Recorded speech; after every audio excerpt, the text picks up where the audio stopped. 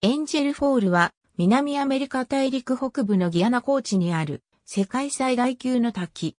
行政上はベネズエラのボリバル州グランサバナのカナイマ国立公園内に所在する。世界最大の落差979メートル3212フィートを持つ滝として著名。滝のスペイン語名、英語名等は、その存在を世界に向けて大々的に紹介した最初の人物であるアメリカ人探検飛行家ジミー・エンジェルの名にちなむ。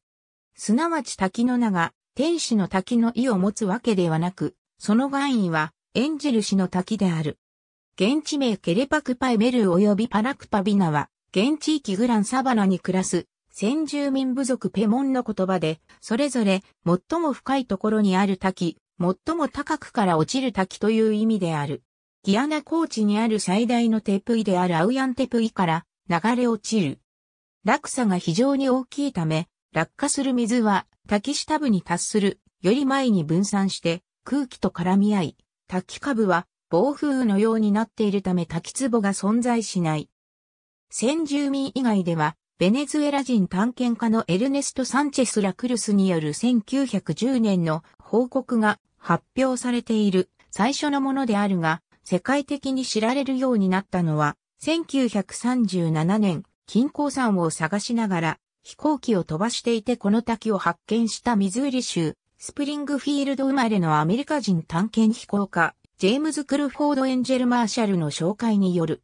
彼の一行はアウヤンテプイに着陸したが、再離陸ができなくなった。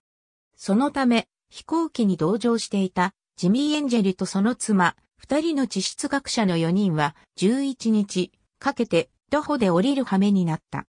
なお、アウヤンテプイの頂上台地で置き去りになっていったジミー・エンジェルの飛行機は1970年にベネズエラ軍によって回収され、修理された後、現在はシウダーボリーバルの空港の前に設置、公開されている。金山からボートツアーが出ている。遊覧飛行のついた2泊3日のツアーが一般的。また、金山は陸の孤島であるため、航空機でしか行くことができない。その航空機は1日に1便のみ運転される。 View of Angel Falls Auyan, Tepui from Isla Raton Camp。ありがとうございます。